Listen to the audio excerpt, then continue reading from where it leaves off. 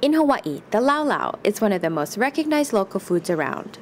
To us, it's a plump packet of juicy, slow cooked meat and fish, surrounded by warm, steamed taro leaves, and all held together by ti leaves. It's common for any plate lunch to include one, but sales of this Hawaiian comfort food also spike during the holiday season as families come together to celebrate. For this issue of Honolulu Magazine, we talked to Gary Ishimoto, president of Keoki's Lau Lau, to see how this special product is made.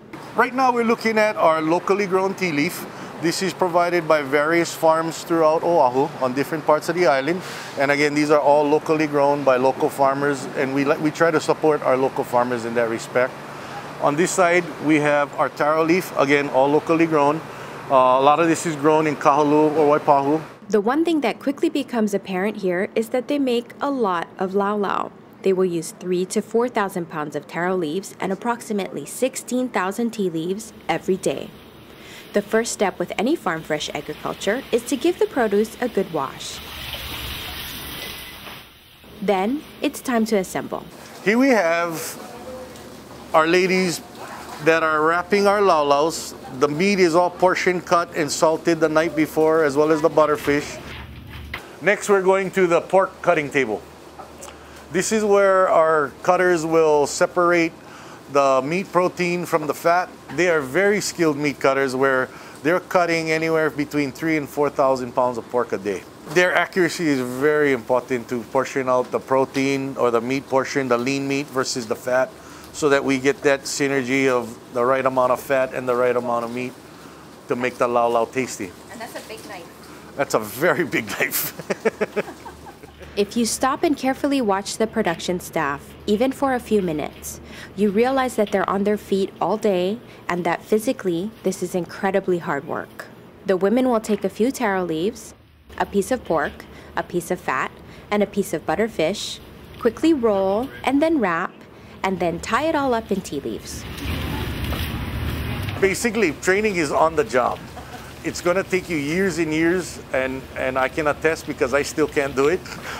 but these ladies probably wrap a lau lau anywhere from a minute a piece to as fast as 30 seconds a piece. The one common denominator is the knot.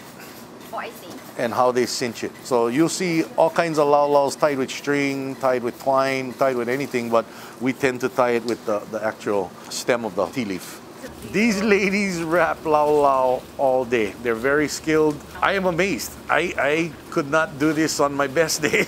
I'm very much amazed. Some of these women are so good at wrapping lau lau because they've been doing it for a very long time.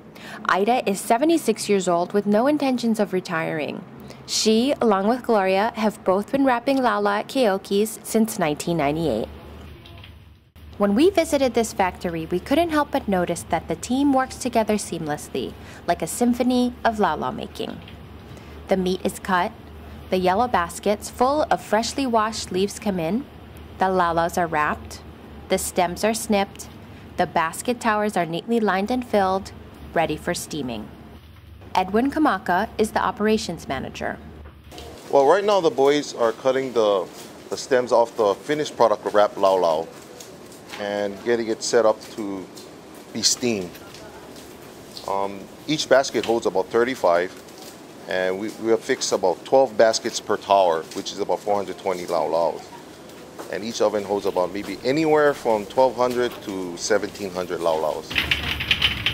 Another thing you might not be able to tell on video is that walking from room to room, the temperature varies wildly.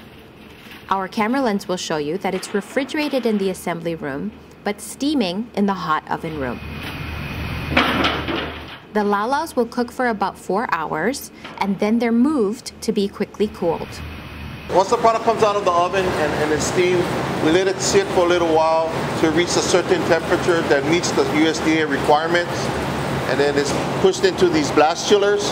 It's really cold in here. It'll take a product down to 30 degrees in a matter of hours.